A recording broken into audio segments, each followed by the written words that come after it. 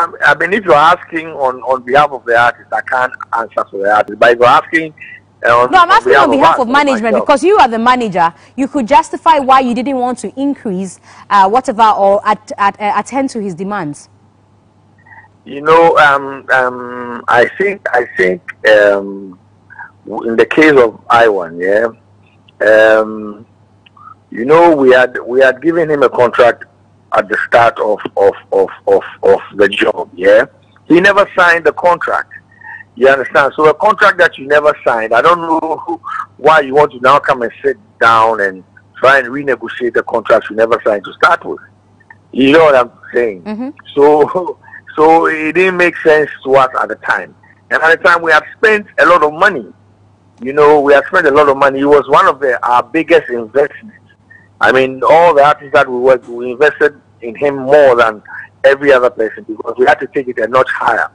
Um, fortunately or unfortunately for us, at the time he peaked, and yeah, when I say peaked, I mean the P E A K E D. You know, when he peaked, his um, his competitor or people were comparing him to Samini. At the time, he wasn't Samini's. Um, we all know Samini's strength in this industry is huge, but people started comparing him. So we needed to match up.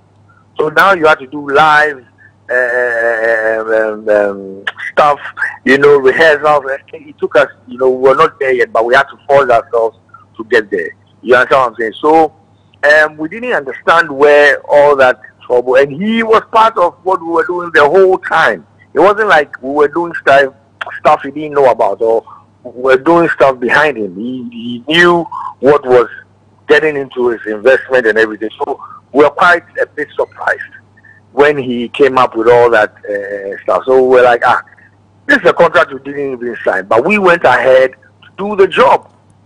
And we went ahead to do the job because we felt it was our responsibility. We felt this is a talent we needed to groom and grow.